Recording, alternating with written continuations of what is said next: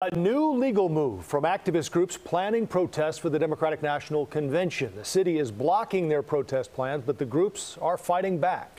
And as tensions build, some comparisons are already being made to the notoriously chaotic convention of 1968. Our Tara Molina is live at the United Center where the city has blocked every protest permit filed. Tara.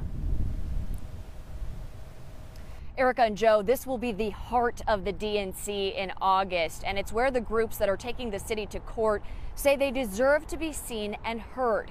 It's a fight that's one example of a parallel that's being drawn to the 1968 Democratic National Convention by political experts here in Chicago. Violence and chaos. Chicago during the Democratic National Convention of 1968 their images still haunting the Democratic Party more than 50 years later. The uh, hell on earth shots of the police in conflict uh, uh, with demonstrators. Political consultant Don Rose lived it. One of Dr. Martin Luther King's press secretaries, just one position on a storied resume. Another? As a spokesman for the National Mobilization Committee to End the War in Vietnam a leader of the protests and demonstrations during the 1968 convention. Uh, but we were the principal organizer. Justice is our demand. And when Rose sees this,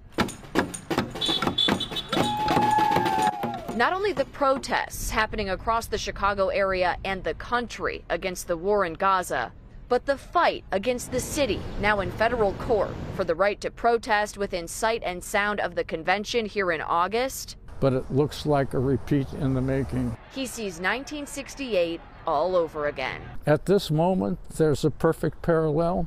With the city offering protest groups a site about four miles away, putting them in a completely different part of town, arguing Chicago does not have enough police to protect the planned parade of organizers while keeping protests in check and managing traffic. It's the denial of protest rights, the denial of permits, uh, and the absolutism of keeping people away from the site that can lead us into another perhaps violent confrontation. 34,000 Palestinians have already been killed.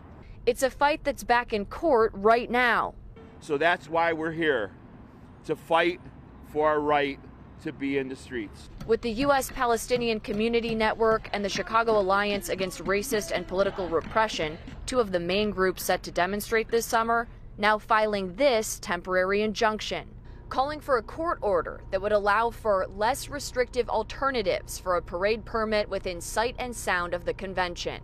I can see where a mess might lie ahead but from someone who has been there, Rose says the city still has time to learn from history and correct course. It's going to take a lot of work, but they've got time to make the repairs. That's the thing right now. No comment from Mayor Brandon Johnson's office on the court filing made today. The city's law office told me they do not comment on pending litigation. Reporting outside the United Center, I'm Tara Molina, CBS 2 News. Tara, thank you.